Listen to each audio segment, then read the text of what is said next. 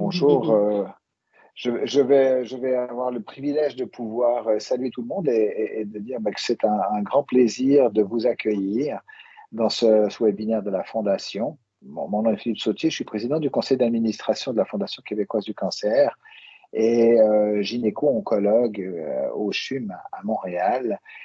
Ce sujet du cannabis médical est un sujet que je tenais, ainsi que toute l'équipe d'ailleurs de la Fondation, tenait à, présenter en, webinaire pour, plusieurs raisons. En résumé, les raisons, c'est que on est confronté avec ce sujet-là à de multiples préjugés et des préjugés d'absolument de tous les côtés. Euh, soit des, consommateurs, des patients, des, des gens qui entourent les patients, avec tout ce qui peut se raconter sur les réseaux sociaux, tout ce qu'on peut entendre dans la presse. Et donc là, il y a, des préjugés, il y a des idées justes, mais surtout beaucoup d'idées fausses par rapport au cannabis médical. Puis ça, c'est vraiment important de pouvoir clarifier tout ça. La deuxième chose, c'est les préjugés des professionnels, professionnels de la santé. Il faut savoir que comme praticien, par exemple, pour nous, on n'a aucune formation, ça commence maintenant. On commence à avoir dans certains milieux d'oncologie de la formation et donc ça laisse toujours place à beaucoup de choses. Pendant longtemps, il y a eu relativement peu de données scientifiques, de données validées, ce qui n'est plus le cas, vous le verrez. Et c'est donc là important de pouvoir ouvrir avec euh, ce regard-là et transmettre ça à tous les professionnels de la santé, pas seulement les oncologues ou les, médecins, mais l'ensemble de la communauté de pouvoir aussi ben, justement arriver à, se débarrasser de ces préjugés. L'autre chose, ben, c'est les préjugés liés au niveau de la politique. Évidemment, tout le monde a entendu parler du cannabis récréatif, mais euh, on se rend compte que le cannabis médical, lui, est resté un petit peu, c'est un sujet qui est resté un peu à la traîne, euh, je dirais, dans ce contexte-là, ce qui fait que les démarches sont toujours relativement compliquées. Il faut savoir que avant même de qu'on puisse avoir accès à, tout ces, ce cannabis, quand on pouvait, euh, quand une de nos patientes, par exemple, me demandait est-ce que je pourrais avoir accès, un, je n'étais pas très sûr de ce que je devais répondre, puis deux, si je disais oui, ça, ça a l'air d'être bien, j'avais euh, huit pages à remplir. Euh, donc, dans nos cliniques ultra surchargées, c'est tout fait pour vraiment rendre les choses compliquées. Donc, tout ça fait que je suis très, très heureux qu'on puisse avoir accès à, nos, à, nos, collègues de Santé Cannabis qui vont vous présenter des données. C'est une présentation que j'ai eu la chance de voir déjà. Et surtout, j'ai eu la chance de les accompagner dans leur travail au quotidien, dans les cliniques. Euh, et j'ai pu discuter avec des médecins sur place qui travaillent sur place, avec l'équipe que, vous voyez euh, à l'écran. Et donc, de me rendre compte que là, il y a un message qui est cohérent, un message qui est scientifique, qui est rigoureux. Et donc, qui mérite vraiment d'être transmis, retransmis et retransmis pour que effectivement on puisse se débarrasser des préjugés et clairement introduire, intégrer euh, ce produit, ces produits, cette euh, gamme de, pharmaceutiques dans la pratique quotidienne, parce qu'il y a effectivement d'excellentes indications. Donc, je ne vais pas aller plus loin et je vais laisser la parole à, nos collègues de, Santé Cannabis. C'est un, grand plaisir. Bienvenue euh, dans, le webinaire. Alors, bonjour. Euh, donc, mon nom est Marie-Pierre Godert. Je suis infirmière chez Santé Cannabis. Pardon. Donc, euh, en fait, aujourd'hui, je vais vous présenter là, justement au niveau du cannabis médical, comment ça fonctionne. On va commencer un petit peu plus point de vue scientifique, mais tout au long, justement, je vais pouvoir euh, vous expliquer comment on fonctionne chez nous, à notre clinique aussi, puis dans le cannabis médical, comment ça fonctionne. Prochaine. Oh, je voudrais juste dire que par la suite, on va parler un peu de recherche parce que nous, on est une clinique médicale, mais aussi un centre de recherche. Donc, euh, on a une recherche active en cours pour les personnes qui ont un, cancer ou euh, ont des, symptômes qui sont associés à leur traitement de cancer. Et on va parler un peu des connaissances qu'on a actuellement sur le cannabis médical et le cancer aussi. Merci. Euh, donc, en fait, voilà, le cannabis médical et la médication de base à, base de cannabinoïdes, finalement. Donc, euh, comme Dr. Sautier expliquait, en fait, c'est pourquoi c'est important d'aller introduire ça, puis essayer d'aller rendre ça un peu moins tabou finalement. Donc, on va vous parler pour le programme d'accès au cannabis aussi chez nous. Donc, pour commencer, dans notre corps, oui, on connaît qu'il y a le système nerveux, puis tout ça, mais on a aussi le système endocannabinoïde. En général, c'est lui qui va régulariser la douleur, le sommeil, l'appétit, etc. Mais aussitôt que lui, il y a une maladie ou qu'il y a un problème, il vient tout déséquilibrer. Donc, c'est à ce moment-là, justement, que nous, avec le cannabis, on va essayer d'aller rééquilibrer le système pour que là, fonctionne bien. Donc, on a plusieurs récepteurs de cannabinoïdes dans notre corps déjà. Il y a le CB1, donc on le voit justement sur l'image, les récepteurs CB1 et CB2. Donc, euh, les récepteurs CB1 sont beaucoup plus euh, au niveau du cerveau, le système nerveux, tout ça. Tandis que le CB2, c'est plus au niveau, comme on voit justement, foie, rat, système cardiovasculaire. Euh, donc, vous avez les récepteurs CB1, CB2, il y a tout aussi, là, les transmetteurs dans le corps pour les endocannabinoïdes. Voilà. Donc, pour que tout ça fonctionne de manière optimale, comme j'expliquais, il faut vraiment que la personne soit en bonne santé. Donc, aussitôt qu'il y a un problématique, il y a un symptôme qui apparaît, le, récepteur peut être débalancé, ce qui va créer justement des problèmes au niveau de l'inflammation, qui va créer une mauvaise gestion finalement du sommeil, de la douleur, euh, puis euh, de l'inflammation, justement, comme j'expliquais.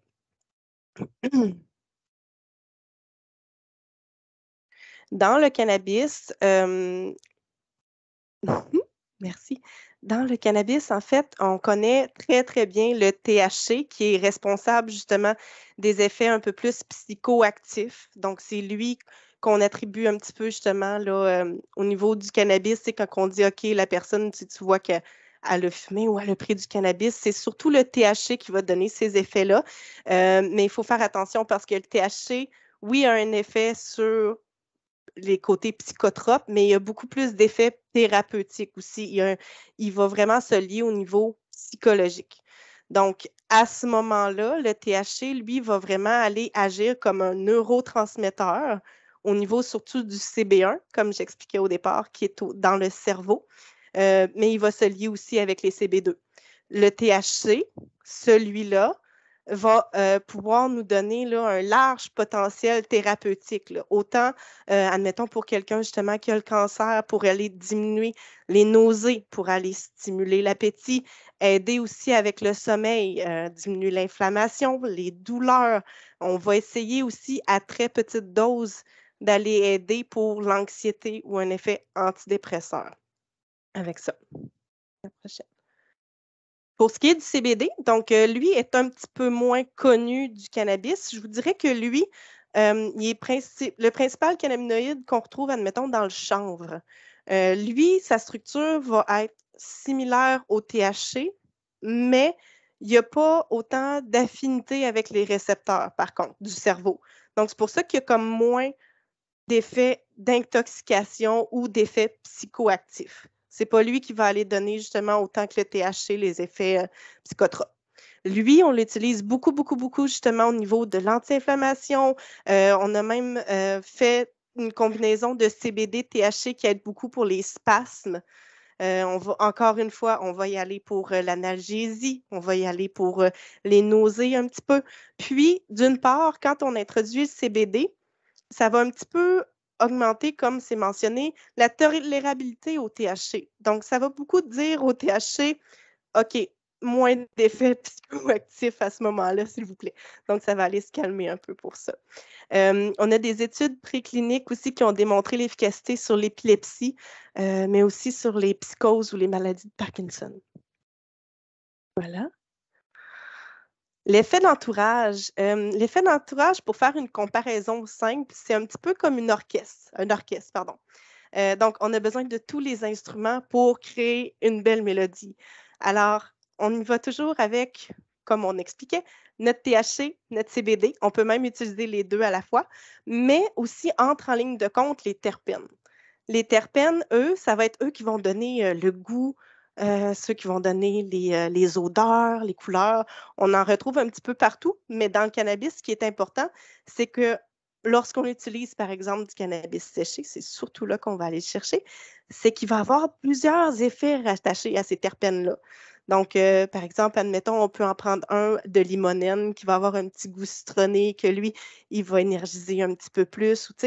c'est, c'est beaucoup plus dans ce sens-là qu'on va aller utiliser les terpènes, donc nos instruments de musique, pour aller former un orchestre, alors une mélodie. C'est l'effet d'entourage tous ensemble qui, va pouvoir euh, nous donner un bel effet thérapeutique.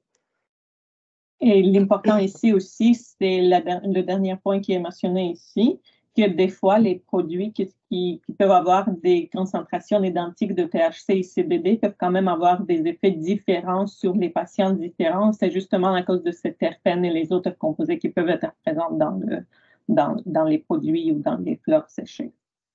Tout à fait, effectivement, Natalia. Euh, même, tu sais, un, producteur peut avoir justement différents euh, plants finalement de cannabis qui vont apporter chacun leur effet différent, même justement si les taux, comme Nathalie a dit, les taux sont identiques, si le terpène à ce moment-là est différent, on va avoir un effet complètement différent à ce moment-là pour le patient. Les contre-indications et précautions à ce moment-là. Chez Santé Cannabis, lorsqu'on reçoit une demande de consultation, on vérifie toujours justement s'il y a des contre-indications. Donc, euh, évidemment, un patient qui est âgé de moins de 25 ans, une femme qui est enceinte ou qui va allaiter, quelqu'un qui a fait des psychoses par le passé ou qui a un antécédent familial de psychose, ou simplement quelqu'un qui est allergique aux cannabinoïdes. On ne va pas lui donner un traitement de cannabinoïdes.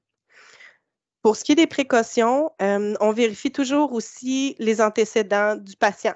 Donc, euh, admettons quelqu'un qui a fait une crise cardiaque, qui prend encore des médicaments à ce niveau-là. Il y a certains médicaments, justement, qu'il faut vraiment faire attention avec un traitement de, cannabis. Je ne dis pas qu'on ne peut pas aller le traiter, c'est plutôt de surveiller beaucoup de points à ce moment-là avec le patient. Euh, bien évidemment, quelqu'un qui a des problèmes pulmonaires, on ne va pas aller donner du cannabis séché. Donc, euh, un petit peu plus loin, justement, on va voir c'est quoi toutes nos options de traitement sinon, comme été énuméré, des conditions hépatiques au niveau du foie, des conditions rénales. Donc, c'est vraiment d'aller surveiller tous ces points-là. Ce n'est que des précautions, ce n'est pas des contre-indications à un traitement.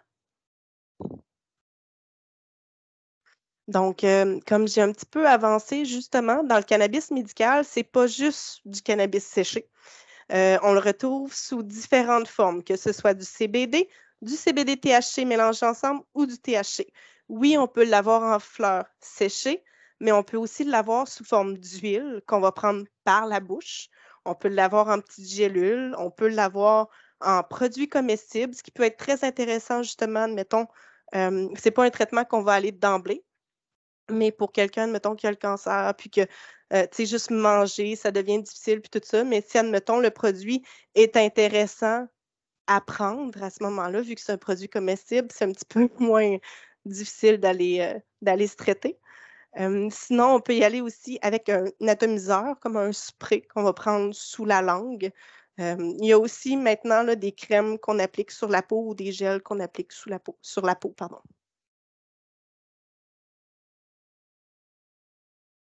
Les effets secondaires, bien entendu, il faut en parler. donc, je vous dirais, il y a une grosse différence, surtout avec le CBD versus le THC. Donc, d'emblée, comme je vous expliquais au départ, euh, le THC, c'est lui qui va avoir un, peu plus d'effets psychoactifs, tandis que le CBD, beaucoup moins. Alors, quand on retrouve les effets secondaires indésirables, justement, dans la liste que l'on voit, la somnolence, la sécheresse buccale, l'étourdissement, oui, c'est quelque chose qui est commun, mais il faut aussi y aller très, très, très, très, très doucement quand on commence le traitement de cannabis. En fait, c'est la clé du succès avec le traitement de cannabis. C'est que quand on commence notre traitement, oui, on veut aller vite, on a hâte que les effets arrivent, on, est excité, c'est normal qu'on essaie d'aller plus vite que la musique, mais il faut faire attention justement pour avancer lentement, nous, les infirmières, on fait vraiment un beau protocole, un beau tableau euh, qui dit quelle journée, à quel moment de la journée on prend quelle dose. Euh, donc, pour éviter justement ces effets secondaires-là, qui, soit dit en passant, très, très, très, très, très, très souvent, sont juste temporaires et légers. Donc, par exemple, un patient qui va débuter de l'huile de CBD, on débute toujours le soir. Peu importe, en fait, le traitement, on débute toujours le soir parce que, simple et bonne raison, si jamais il y a un effet secondaire de somnolence, de fatigue ou de maux de tête, c'est beaucoup plus facile de juste aller se coucher ce soir-là que d'avoir à passer notre journée finalement fatiguée puis la difficulté à fonctionner. les effets secondaires que vous voyez justement dans le tableau, je ne passerai pas sur tout ça, mais somme toute, oui, c'est certain que ce sont des effets secondaires qu'on a rencontrés dans notre pratique avec le cannabis, mais aussitôt qu'il y a un problème vous pouvez contacter Santé Cannabis, vous discuter avec une infirmière, elle vous apporte des solutions, elle va tout vous expliquer c'est quoi le processus à faire, puis on est vraiment là pour vous aider le plus possible. Et le but de cannabis médical, justement, c'est d'avoir beaucoup plus d'effets thérapeutiques et moins des effets secondaires. Et d'avoir plus d'effets thérapeutiques, c'est justement de trouver le bon dosage. Et des fois, ça prend un peu plus de temps pour certains patients, mais on doit être un peu patient et attendre jusqu'à le moment qu'on trouve le bon dosage qui ne donne pas des effets secondaires. Tout à fait, tout à fait, effectivement.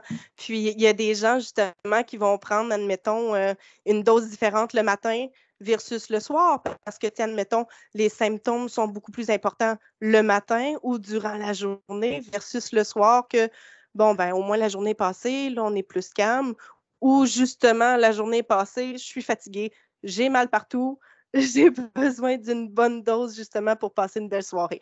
Donc, mais c'est vraiment, comme Natalia a mentionné, c'est vraiment d'y aller très doucement et de bien ajuster pour qu'on évite complètement nos effets secondaires et qu'on bénéficie des effets thérapeutiques. Donc, euh, pour comment accéder maintenant au cannabis médical, euh, donc par exemple, pour chez nous, comment on fonctionne, c'est qu'on obtient la référence du médecin euh, qu'on va pouvoir évaluer, comme je vous expliquais tout à l'heure. Ensuite de ça, aussitôt que vous avez un rendez-vous initial, le médecin que vous allez rencontrer va tout évaluer comme je vous ai parlé, les, médicaments que vous avez essayés, si vous avez des antécédents familiaux, des antécédents de chirurgie, des antécédents d'intolérance. Donc, il va tout évaluer ça. Il va regarder c'est quoi les traitements conventionnels que vous avez déjà essayés. Puis, on va regarder pour émettre un bon plan de traitement à ce moment-là. Le médecin, chez nous, va signer un document médical qui va vous permettre d'aller chercher votre cannabis médical auprès d'un vendeur autorisé de cannabis médical. Vous avez toujours une infirmière, encore une fois, qui va être là pour vous aider, vous expliquer tout le plan de traitement et vous dire où est-ce que vous allez acheter ça, sur quel site Internet, quel numéro de téléphone, c'est quoi le nom du produit à acheter, comment vous commencez ça. Donc, on a une belle trousse de départ, si je peux dire. Puis, euh, une fois que votre première commande est passée, aussi simple que le livreur cogne à la porte de chez vous, puis vous recevez votre première commande chez vous, puis vous pouvez débuter le traitement. La seule chose, euh, c'est qu'il faut être certain, par contre, le cannabis médical n'est pas encore couvert par la RAMQ. Il y a certaines assurances privées qui commencent à couvrir le traitement, mais c'est vraiment là, ça s'en vient graduellement, mais la RAMQ ne couvre pas. Alors, c'est vraiment un traitement que vous devez payer de vos poches. Euh, aussi, le cannabis médical, comme c'est mentionné, ce n'est pas un traitement qui est de première ligne. Donc, on n'aura pas un patient qui va dire ben moi, je ne veux pas prendre de Tylenol, je veux prendre du cannabis. C'est pas comme ça que ça fonctionne, malheureusement. Ce n'est pas un traitement de première ligne. Ce n'est pas un premier traitement qu'on va faire. C'est une directive du Collège de médecins de Québec. Donc, si les médecins vont faire ça, ils peuvent avoir des problèmes avec le collège. Donc, c'est pour ça qu'on demande aux patients d'essayer des traitements avant de venir nous voir. Et c'est pour ça que les médecins et les infirmiers, notre équipe médicale, vérifient que c'était fait. Merci, Natalia. Donc, je pense que ça met fin à ta partie à toi, Marie-Pierre. Donc maintenant, c'est moi, Natalia, donc, euh, qui va reprendre la parole. Donc moi, je suis Natalia Sherba. Ça fait cinq ans, ça fait cinq ans cette année que je travaille chez Santé Cannabis. J'ai commencé comme assistante de recherche et maintenant, je, je, gère un peu le programme de formation pour les médecins, pour les professionnels de la santé. C'est pour ça que j'ai connu le docteur Sautier. On a organisé cette visite euh, pour lui et euh, par la suite, on a organisé cette présentation. Et je gère aussi les, les recherches un peu dans notre clinique. Donc, donc, présentement, nous avons un, comme je vous ai dit, qui parle de symptômes qui sont reliés au cancer. malheureusement, on vient d'avoir les nouvelles qu'on doit mettre cette recherche en pause à cause d'un changement de producteur autorisé ou de vendeur autorisé. Donc, euh, on attend de nouvelles. On espère qu'on pourrait reprendre le recrutement en janvier 2024. Mais les patients peuvent quand même venir nous voir en clinique et devenir les patients de la clinique s'ils ne veulent pas retarder leur traitement ou ils ne veulent pas attendre euh, le janvier 2024. Donc, je vais vous donner un peu plus euh, de détails sur les symptômes les reliés avec le cancer et le cannabis pour commencer. Donc, on sait que beaucoup de symptômes qui sont reliés au cancer dans les recherches qui étaient faites et qui étaient euh, euh, c'était comme la perte significative de poids, de masse musculaire, euh, les douleurs que les, personnes peuvent avoir, les nausées, les vomissements qui sont induits par la chimiothérapie, l'anxiété, la dépression et les troubles de sommeil. Donc, c'est surtout sur ces sur, sur, ces symptômes-là qu'on se concentre quand on utilise le cannabis médical. Euh, les traitements conventionnels de ces symptômes courants chez les patients atteints de cancer ne sont pas toujours couronnés de succès. Des, des alternatives thérapeutiques peuvent s'avérer nécessaires, comme le cannabis médical.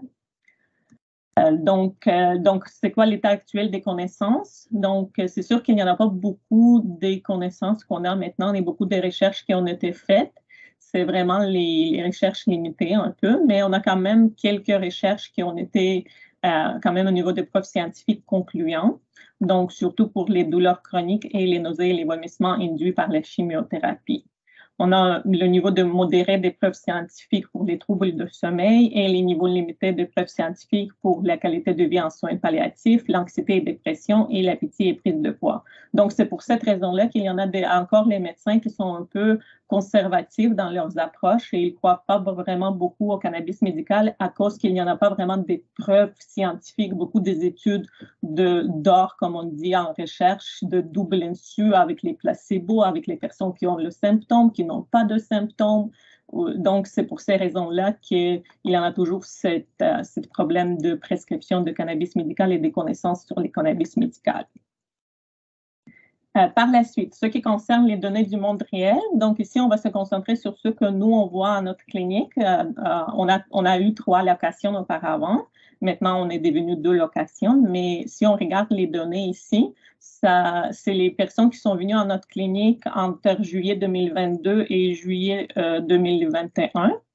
Et c'est les personnes qui ont donné leur consentement pour qu'on prenne leurs données qu'on collecte les données et qu'ils remplissaient les questionnaires euh, pour, faire ces recherches-là. Et donc, parmi toutes les personnes qu'on a vues, qui étaient 1711 personnes qu'on avait vues pendant cette période-là, on voit qu'il n'y en a pas une grande proportion de personnes qui sont atteintes de cancer, mais c'est quand même une bonne population, c'est 4% qui ont le cancer.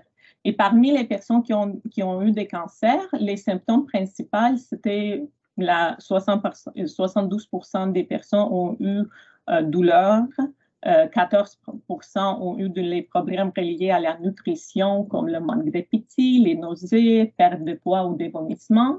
Il y en avait 7 qui ont eu euh, des problèmes de santé mentale et 7 qui ont eu des autres symptômes. Donc, puisqu'il faisait partie de la recherche, il complétait les questionnaires. Et donc, ici, on a complété un questionnaire de score moyen des symptômes d'Edmonton. Donc, c'est une échelle de 10 symptômes différents. Et vous avez les symptômes ici, douleur, anxiété, dépression, somnolence, fatigue, sommeil, manque d'appétit, essoufflement, nausée et bien-être. Et les patients venaient à notre clinique à la visite initiale. Ils remplissaient cette échelle à ce moment-ci. Et après trois mois, ils remplissaient même, le, même questionnaire, les mêmes symptômes, comment ils se sont sentis dans les derniers jours. Et donc, euh, on voit ici que quand même, il y en a beaucoup de, tous les symptômes, on voit que les, valeurs diminuent parce que la couleur plus foncée, le, bleu foncé, c'est les suivis trois mois. C'est beaucoup moins grande les, échelles de symptômes qu'à euh, à la visite initiale. Et donc, c'est sûr que c'est les données observationnelles. On ne peut pas vraiment faire de conclusion, mais on, observe quand même que les, personnes nous rapportent qu'ils ont des améliorations. Et pour la douleur, anxiété, fatigue, sommeil, manque d'appétit et essoufflement, il y en a eu des améliorations significatives. C'est-à-dire que le changement était quand même assez grand. C'était de 1, un point dans l'échelle. Donc, si à la visite initiale, ils disaient que c'était à 6, quand ils venaient à 3 mois, ils disaient que leurs symptômes étaient à 5 sur 10. Par la suite, maintenant, on va parler un peu de la recherche que nous avons, mais qui a mis en pause un peu euh, maintenant. Donc, c'est une recherche qui s'appelle Kafka, donc cannabis pour les symptômes reliés au cancer ou au traitement de cancer. Euh, c'est une recherche qui est commanditée par euh, Dr. Holly, Philippa Holly, qui est aussi l'investigatrice principale et elle travaille pour le BC Cancer Center à Vancouver, en Colombie-Britannique. Donc, euh, le rôle de Santé Cannabis dans cette étude, c'est sûr que c'est une étude multinationale. il y en a beaucoup de sites un peu partout au Canada, mais le Santé Cannabis, c'est le seul et unique site au Québec. Donc, pourquoi on a, été choisi comme le site pour cette étude-là? Parce que nous avons une expérience depuis 2017 à mener les essais cliniques et nous avons une vaste expérience avec des patients dans l'évaluation, le développement de plans de traitement et de suivi avec les patients différents. Euh, pour euh, cette étude-là, on espère de recruter à peu près 40 patientes et leur faciliter l'accès au cannabis médical. Parce que et l'investigateur principal pour cette étude, c'est notre directeur médical et qui est aussi le médecin en notre clinique, c'est Dr. Michael Dworkin. Euh, il a beaucoup d'expérience avec le cannabis médical. Il a travaillé dans l'hôpital juif pour 35 ans et avec les, patients palliatifs de cancer. Et le sous-investigateur, c'est Dr. E.C. Weisglass. C'était aussi un, médecin de l'hôpital juif, mais lui, il est un chirurgien, mais il a décidé de quitter l'hôpital et, s'est concentré sur, euh, euh, avec nous, il travaille avec nous maintenant et prescrit du cannabis médical pour plusieurs patients chez nous. Donc, euh, je vais vous parler un peu de l'étude si ça vous intéresse. ici, vous voyez la fiche. Donc, je, peux envoyer la fiche à Laure pour qu'elle partage par la suite, à la fin, après la présentation. Donc, euh, c'est une étude qui va comparer les effets de différentes huiles sur les symptômes qui sont reliés au cancer. il y a quatre huiles différentes.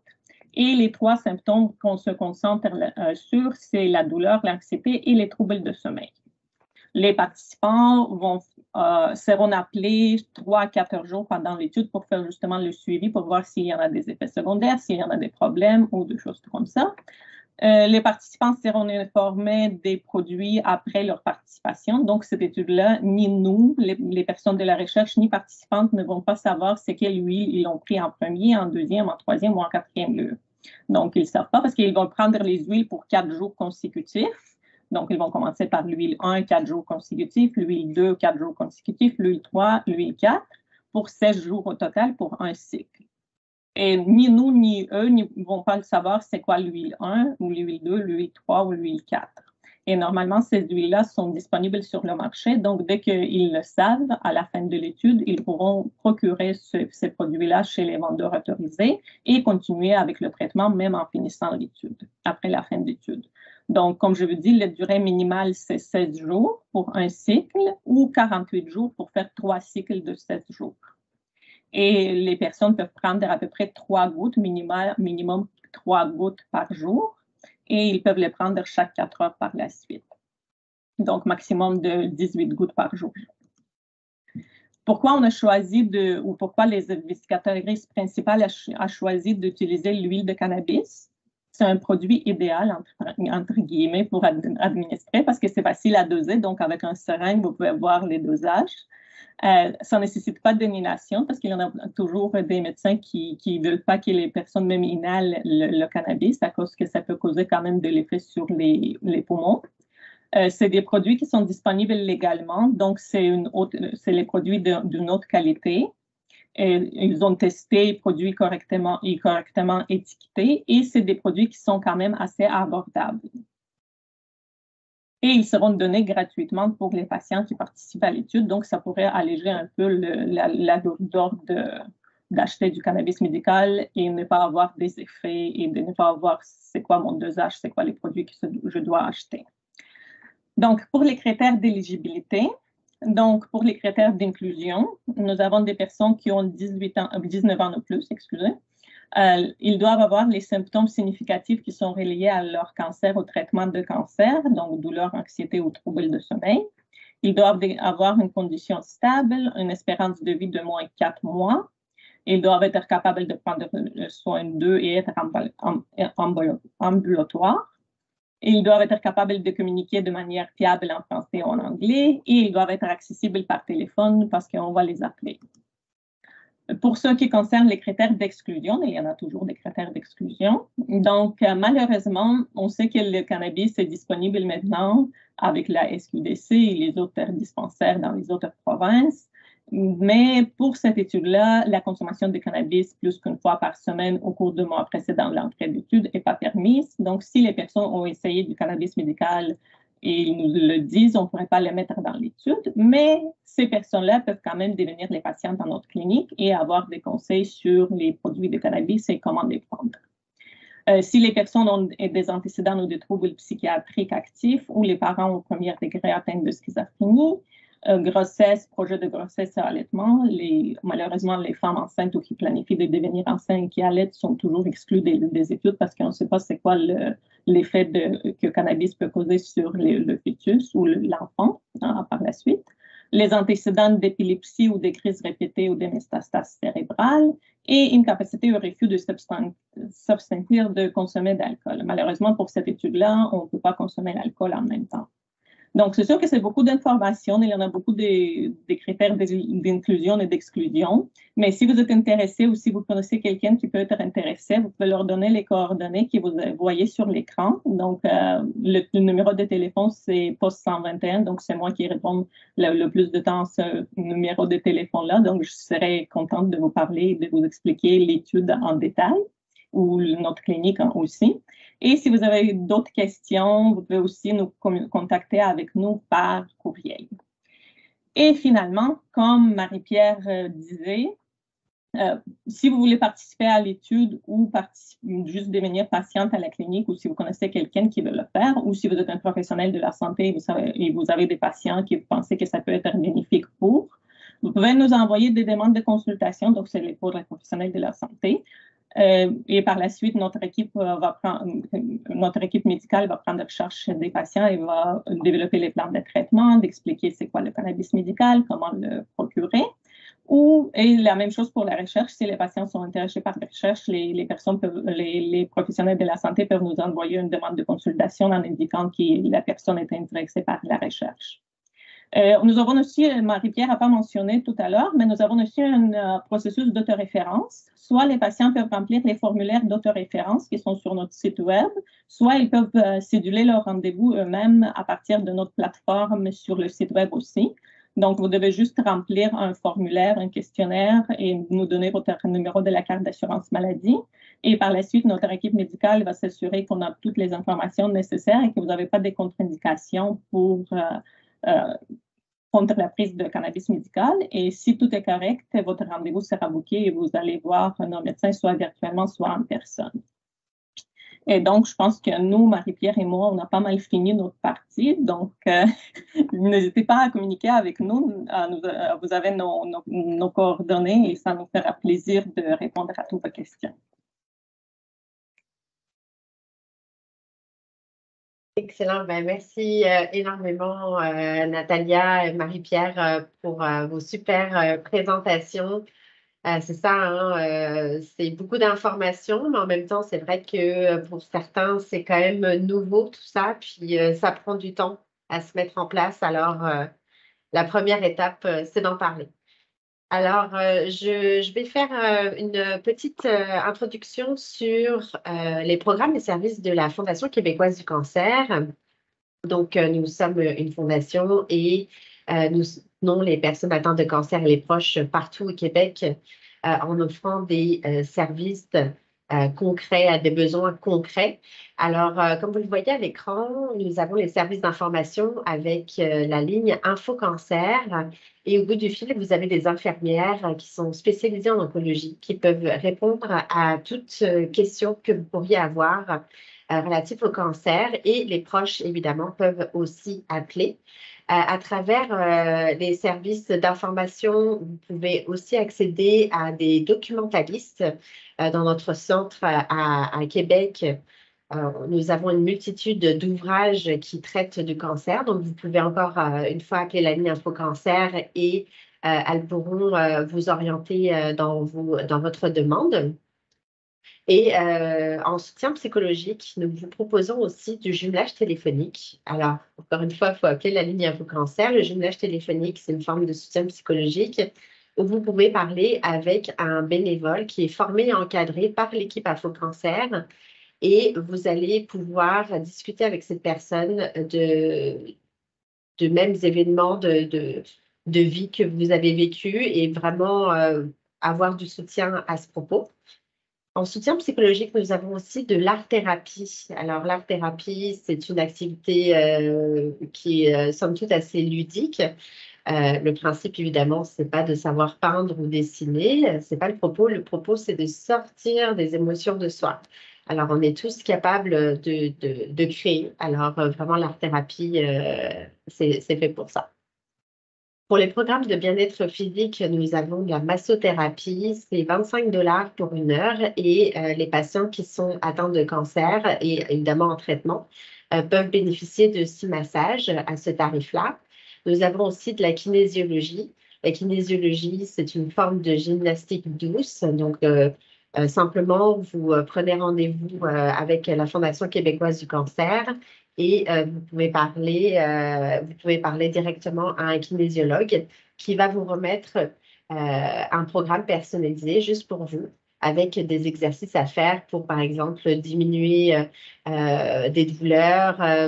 et tout ça, on sait, ça facilite le sommeil, ça vous redonne de l'énergie. Alors, c'est vraiment un programme qui est intéressant. Euh, sachez aussi que nous avons six centres d'hébergement. Nous avons six centres régionaux, donc six centres d'hébergement avec des hôtelleries.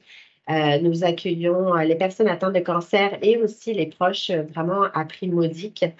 par exemple, pour quelqu'un qui est en traitement chez nous, c'est 30 dollars la nuit. nous avons aussi de l'aide financière et juridique, l'aide financière avec le programme à la vie quotidienne euh, simplement parler à votre travailleur social ou euh, votre infirmière pivot pour savoir si vous pourriez être éligible à cette aide. Et euh, pour l'aide juridique, nous sommes partenaires avec Jurypop. Vous pouvez aller sur notre site Internet et voir tous les critères d'admissibilité. Nous avons le répertoire des ressources en ligne où nous avons répertorié plus de 2200 ressources euh, spécialisées ou en tout cas afférentes au, euh, cancer euh, partout sur le territoire au Québec. Alors simplement, encore une fois, sur notre site Internet, vous pouvez chercher par mots-clés ce, dont vous avez besoin et chercher aussi dans votre région. Et enfin, le programme à Félix pour les 15-39 ans. Évidemment, on a dû on, sait que les, les plus jeunes, évidemment, ne sont pas dans la même réalité de vie euh, que quelqu'un qui est euh, atteint d'un cancer à 80 ans. Je ne dis pas qu'il y en a un qui est plus grave que l'autre, c'est juste qu'on n'est pas du tout dans la même euh, ligne de vie. Alors, on, a créé ce programme vraiment pour répondre à des besoins plus spécifiques pour cette tranche d'âge, avec des, des, thématiques sur la sexualité, la fertilité. parle de retour à l'emploi ou même carrément de retour aux études. Donc, c'est vraiment particulier à cette tranche d'âge. Natalia. Super, merci. Euh, et euh, enfin, pour terminer, on veut vraiment euh, vous dire que nous sommes accessibles sur tout le continuum, donc que ce soit de la période d'investigation jusqu'au suivi avec le retour à la vie active. Vous pouvez appeler la ligne Info Cancer que vous allez voir à la diapositive suivante, Natalia. Vous pouvez nous appeler, vous pouvez parler à des infirmières, euh, à des kinésiologues. Nous avons aussi des services euh, de psychologues, euh, sexologues, intervenants sociaux, nutritionnistes. Alors, n'hésitez pas. Merci beaucoup. Je vous remercie énormément, Madame Beder, Madame Charva, Docteur Sautier. Merci pour, cette, pour vos présentations et le, mot d'introduction. Alors, si vous avez des questions, euh, n'hésitez pas à enlever votre micro. Euh, on est là pour, euh, pour vous écouter et répondre à vos questions.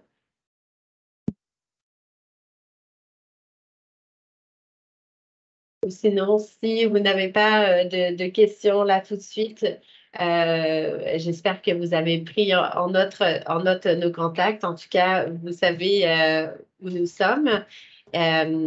Et puis, je vais vous envoyer à la, à la fin de, de, ce webinaire un petit sondage de satisfaction. Et sachez que le mois prochain, nous aurons un autre webinaire toujours sur la thématique du cancer. Moi, j'aurais une question.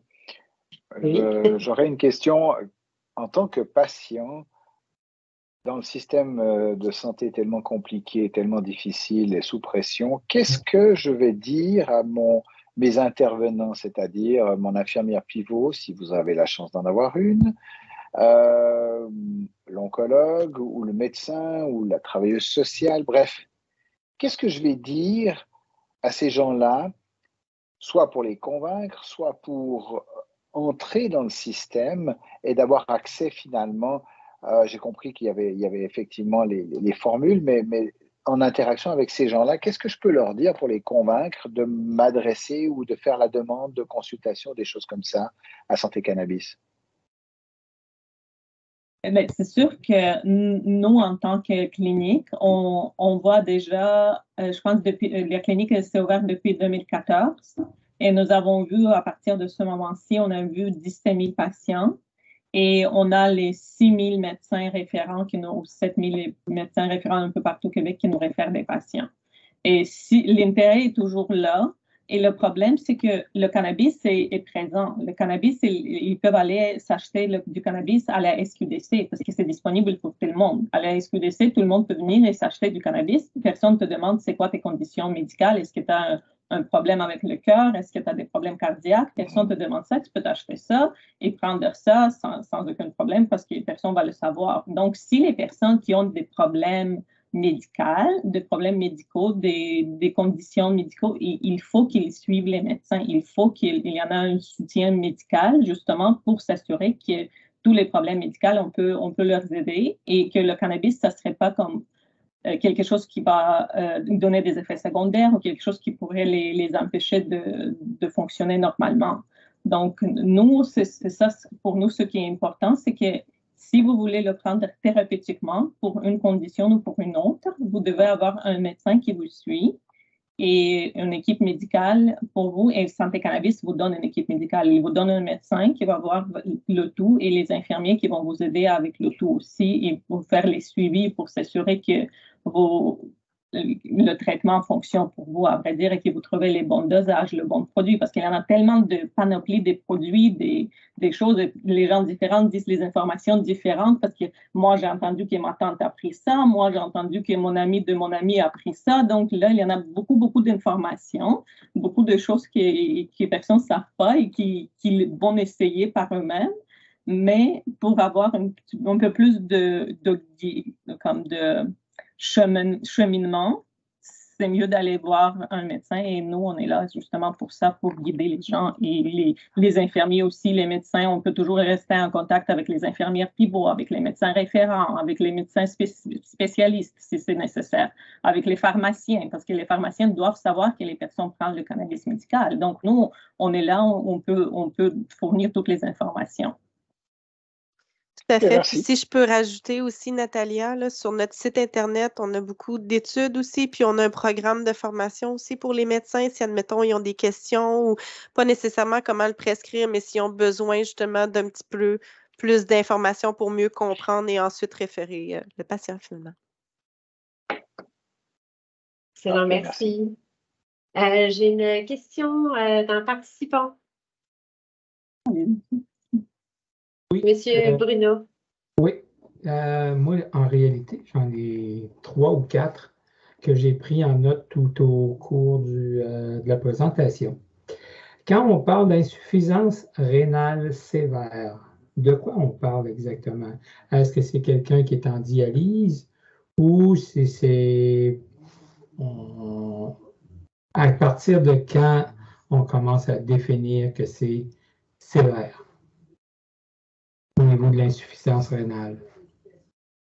As-tu une réponse, Marie-Pierre? Euh, oui, bien, à ce moment-là, en fait, c'était plutôt une précaution pour le traitement parce qu'en fait, on a plusieurs, euh, on a plusieurs méthodes d'administration, justement, que ce soit en gélule ou en huile. C'est pour ça qu'il faut y aller vraiment avec beaucoup de précautions pour quelqu'un qui fait de l'insuffisance rénale sévère. Euh, mais à ce moment-là, pour ce qui est des critères de votre insuffisance rénale sévère. Euh, Natalia, écoute, si, tu veux plus d'informations, mais. Euh, c'est sûr que c'est une euh, précaution, mais c'est les médecins toujours qui vont, qui vont voir. Parce que je sais que dialyse, ce n'est pas tous les médecins qui, qui, acceptent les patients avec, qui, qui font la dialyse, mais c'est toujours discrétion de médecin et c'est toujours dépendre des autres conditions des patients. Mais c'est sûr et certain que dès qu'il y en a une suffisance rénale, soit sévère, soit pas sévère, il va y avoir un suivi plus précis de la part des médecins et de l'équipe médicale, c'est sûr et certain, et plus d'attention avec le THC, donc peut-être un peu plus de produits à CBD.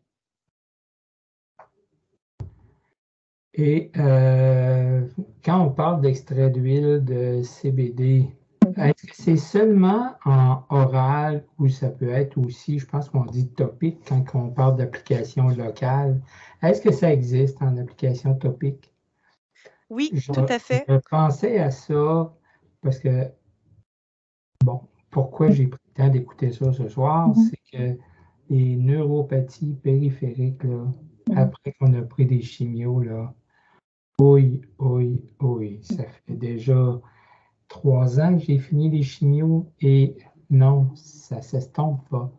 Alors, euh, je me demandais si ces fameuses huiles-là peuvent être topiques pour traiter localement et que ce soit moins dispersé dans le système au lieu de la prendre euh, orale, puis que en réalité, ben, tu dis OK, ça va geler mon système nerveux pour un petit bout de temps, mais en réalité, c'est pas à la base que ça travaille, même si, comme tel, c'est un plaster qu'on met. Non, je comprends très bien justement votre questionnement. C'est un peu comme dire, je vais prendre quelque chose qui va traiter pour tout au complet, mais finalement, j'ai juste besoin d'exemple dans les mains. Euh, mais oui, effectivement, on l'a en lotion, on l'a en gel. Euh, il y en a autant que c'est juste une crème de CBD, que c'est une crème de CBD THC aussi. Donc, euh, oui, puis on peut l'appliquer même quatre fois par jour, là, au besoin, il n'y a pas de problème. Puis, admettons, aussi simple que quelqu'un qui fait de l'arthrite dans les mains puis que les doigts commencent à devenir croches que justement des, troubles neuropathiques comme ça. Oui, il n'y a pas de problème à se frictionner avec, euh, avec ces crèmes-là, finalement. Il y en a de plus en plus de crèmes qui sont maintenant disponibles aussi avec. Euh, on vient de finir une étude où on était en train de faire une étude justement sur les crèmes pour voir c'est quoi les effets que ça donne. Et il y en a beaucoup des commentaires des patients justement que l'application locale, ça aide beaucoup. Tout à fait. Des, des douleurs neuropathiques, l'arthritique. Exactement. Puis, tu sais, en fait, on a même des gens là, qui, au début, admettons, ils ont des douleurs, par exemple, dans le dos, puis qui vont commencer leur traitement avec de l'huile, puis finalement, ça leur convient vraiment pas parce que, euh, bon, X, Y, Z sont beaucoup plus fatigués avec ça. Fait que, tu sais, c'est quand même plus rare, admettons, les gens qui ont beaucoup d'effets secondaires. Mais, somme toute, si, admettons, vous avez des effets secondaires avec l'huile, puis c'est impossible de le prendre par la bouche, ben à ce moment-là, on peut toujours y aller en application topique ou région, justement, où ce qui sont atteintes. C'est vraiment un autre plan de traitement qu'on peut utiliser aussi. Super. J'adore ça. Et puis, ma dernière question, c'était, euh, on parlait de spasmes tantôt pour réduire les spasmes dans certains cas. Est-ce que pose la question comme ça. Est-ce qu'il y a des études de fait au niveau des hmm. du gel de la tourette? Ça, je n'ai pas vraiment entendu, mais on pourrait faire la vérification avec notre équipe de recherche. Ce que je sais, je sais qu'il y en avait des patients dans l'étude qu'on avait qui avaient des crampes qui étaient associées avec leur cancer ou leur euh, cancer de sang, leukémie. Et il disait qu'en prenant l'huile, il sentait moins l'écran où ça disparaît complètement. Mais en ce qui concerne Gilles de la Tourette, je ne suis pas certain. Il y en a des ben, faites.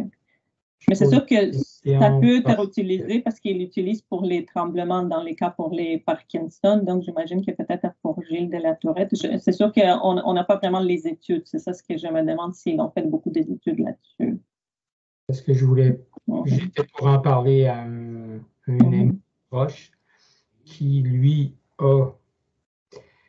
On l'a classé dans le Gilles La Tourette parce qu'on ne mhm. savait pas trop dans quoi l'envoyer. Mhm. Mais là, euh, c'est des tics ou des spasmes qui vont changer à peu près aux deux à mm-hmm. trois mois.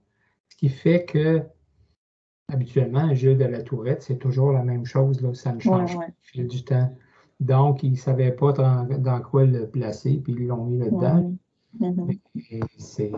Mais euh, je pense qu'il y en a quand même euh, des patients qui, qui, qui, qui, étaient référés chez nous. C'est juste que je ne connais pas les, les résultats, si c'était vraiment très efficace ou non, et les études sont vraiment limitées aussi.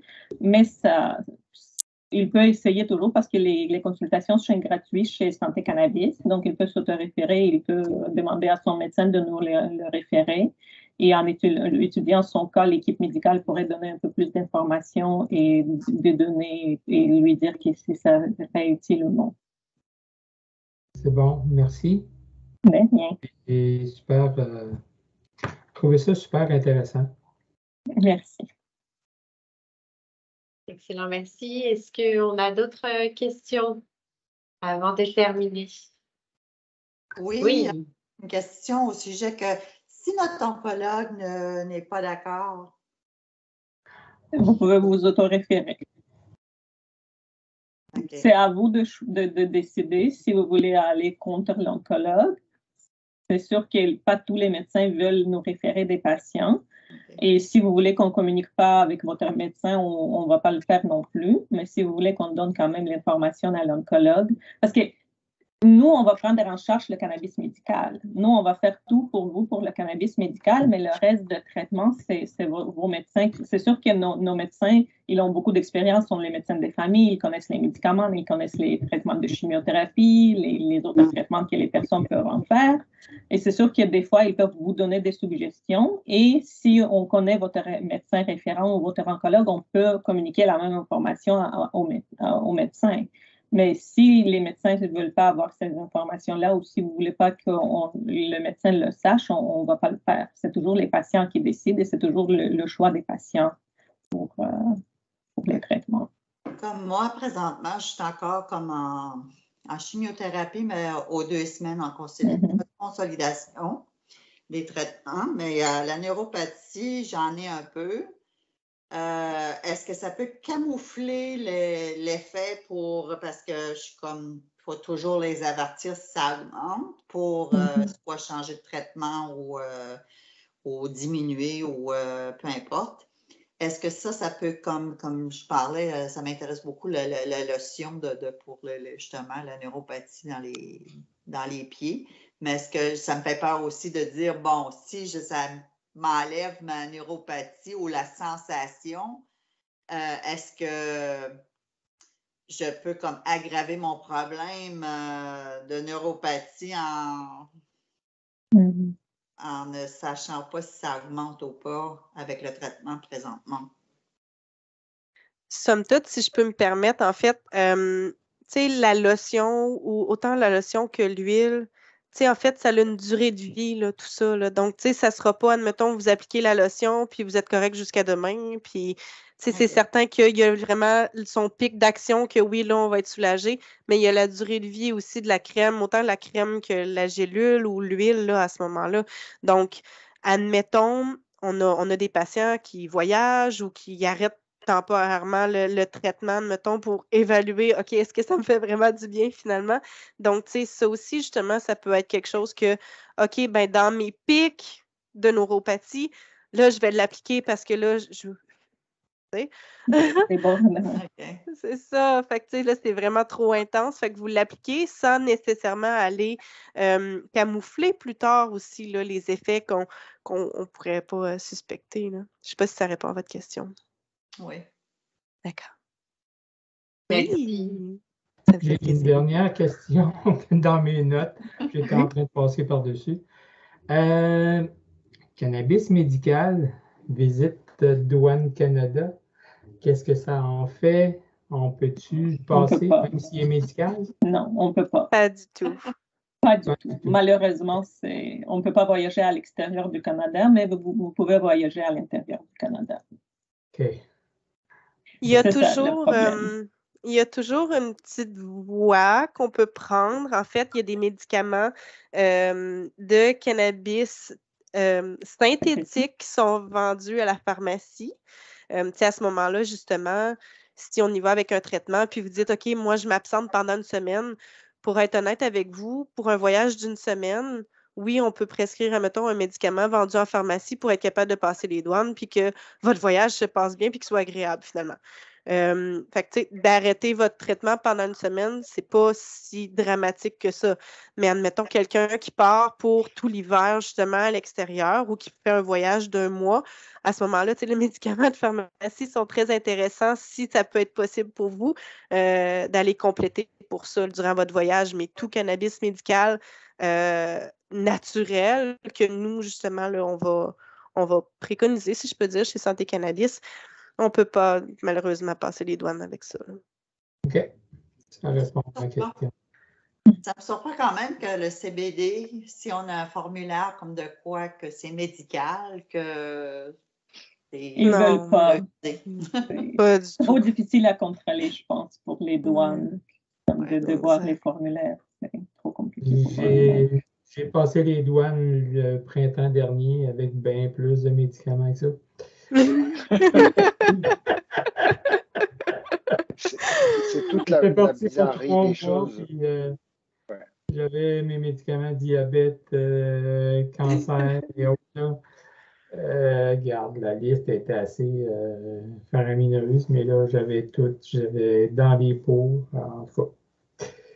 Et quand pardon, excusez-moi.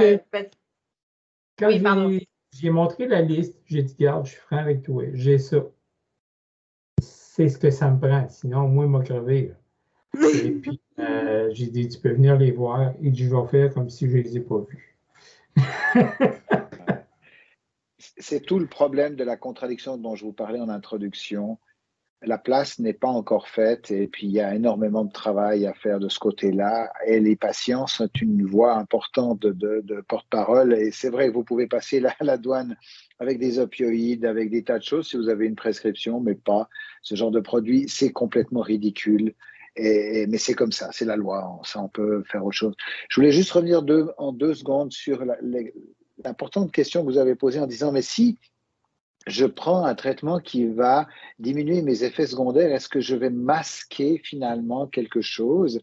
En fait, c'est une bonne question, mais on, vous l'a dit, là, c'est transitoire. Vous pouvez arrêter à un moment donné de voir ce qu'il en est. La durée de vie, ce n'est pas des, des demi-vies de, de, plusieurs semaines. Donc, ça, c'est une première chose. Deuxième chose, les traitements, on vous les donne quand on donne une chimiothérapie et les effets secondaires, et il y a eu beaucoup de progrès dans les antinauséeux, mais ce n'est pas complètement, mais vous recevez des antinauséeux euh, et, on risque rien à vous à, casser ces, symptômes-là. Non, je vous dirais que si on avait des traitements conventionnels corrects qui fonctionnent dans les neuropathies, pensez bien qu'on les donnerait depuis longtemps. C'est un problème majeur qui parfois, j'avoue, est complètement, euh, ou en tout cas partiellement négligé par les professionnels parce que vous risquez pas votre vie, ça endommage pas votre vie, etc. Mais votre qualité de vie de manière très importante. Puis ça, on le sait. Et malheureusement, dans tout ce qu'on sait des médicaments conventionnels, ça marche pas ou ça marche mal ou si c'est pas clair. C'est pour ça qu'on n'a rien finalement à offrir. Et non, vous pouvez prendre des traitements il faut être honnête qu'on est dans une période encore, malgré l'effort justement de, de, recherche, etc., on est encore dans une période d'essai-erreur et puis de dire, ben, il faut que j'essaye. C'est aussi pour ça que la demande est faite de prendre des traitements conventionnels quand il y en a et d'aller jusqu'au bout. Puis après, de dire, ben, si je n'ai pas de réponse, euh, j'aimerais, j'aimerais essayer d'aller vers d'autres. Mais il faut s'adresser pour ça. Je crois que c'est très, très important. Il y a une toute petite phrase aussi sur laquelle je veux revenir. Paradoxalement, la loi qui a libéralisé la prise en charge, euh, la prise, je veux de, cannabis récréatif, et je n'ai pas d'avis là-dessus, euh, clairement, c'est un autre sujet. Euh, je pense que ça fait beaucoup de mal, paradoxalement, au, cannabis médical ou au développement du cannabis médical, puisque finalement, bah, on pourrait passer au magasin, puis aller comme chez Costco, puis chercher son cannabis. Oui, mais là, on improvise totalement avec des patients qui ne sont pas en bonne santé par définition même. Donc c'est vraiment important et je crois que c'est là que le législateur a raté vraiment quelque chose et euh, on espère bien que ça se corrigera tôt ou tard et que ce sera intégré. Mais euh, on vous en avait pas parlé, mais toute l'intégration, c'est un produit, c'est des médicaments. Les médicaments devraient être délivrés en pharmacie, pas, pas par Internet. Mais c'est la loi. C'est, on est coincé là, dans cet état de fait. Et euh, travailler. À vrai dire, il y en a une révision de la loi sur le cannabis. Donc, euh, cannabis médical fait partie de cette loi-là, sur la loi sur le cannabis. Et justement, on avait des représentants qui sont venus de Santé Canada, de, pour demander des questions, pour parler avec nos médecins, nos patients, pour améliorer un peu l'accès. Et c'est la chose la plus importante qui ressort, que les patients disent que ça ne tente pas d'acheter le médicament à partir de site Internet, à partir que ça vienne par la poste, que des fois ça vient, des fois ça vient pas, des fois je dois attendre deux semaines, trois semaines. Pourquoi je ne peux pas aller chez, la, chez mon pharmacien pour le faire? Mais pourquoi mon médecin me dit va dans, dans la SQDC? C'est comme c'est complètement pas normal ce qui se passe. Et c'est ça ce qu'on réitère et c'est ça ce que les pharmaciens ont dit au gouvernement avant que la loi passe, mais ils n'ont jamais été écoutés. Ils ne voulaient pas perdre l'argent parce que si ça passe par la pharmacie, il n'y en a pas d'argent. Ils doivent euh, couvrir par la RAMQ. Donc, c'est. Mais c'est un gros, gros problème que les patients, ça ressort chaque fois et ça ressortit encore une fois maintenant quand, quand ils font la révision de loi. Le gros problème, c'est les compagnies pharmaceutiques qui veulent empêcher ça? Oui, et, les retours au niveau financier sur le gouvernement. Il n'y a pas, faut, on va dire les choses clairement, hein, je veux dire, c'est très clair, hein, il n'y a pas de doute. Le levier reste évidemment les professionnels de la santé, mais surtout, je crois, surtout les patients. la mobilisation, et c'est aussi pour ça qu'à la Fondation, ben, on veut, par le fait qu'on a accès, en guillemets, à, à une, aux patients, ben c'est toujours, et il faudra le redire, le redire, le redire, le refaire, le refaire, jusqu'à ce que ça s'améliore. Mais il y a encore, encore un long chemin, mais, je crois que c'est un chemin qui est, vraiment important parce que ça s'adresse directement pour le patient. Oui, exactement. Excellent. Ben, écoutez, euh, merci énormément pour euh, questions-réponses. Euh, hein, C'était très intéressant. Je, je vous remercie euh, d'avoir été euh, présent et merci pour euh, vos questions fort intéressantes encore une fois. Merci pour vos présentations. ce fut un plaisir de vous rencontrer et je, je, vous souhaite une très belle soirée et on se voit bientôt pour un prochain webinaire. Merci. Merci. Bye. bye. bye.